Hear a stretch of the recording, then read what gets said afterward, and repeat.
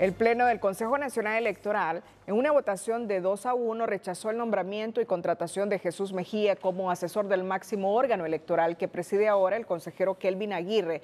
Para el exmagistrado del Tribunal Supremo Electoral, estos temas solo vienen a mediatizar aún más el proceso de noviembre. Tema de, de un asesor que no tiene ninguna relación, me parece súper raro, creo que es más bien una acción mediática porque este proceso electoral está muy mediatizado desde, lo interno del Consejo Nacional Electoral.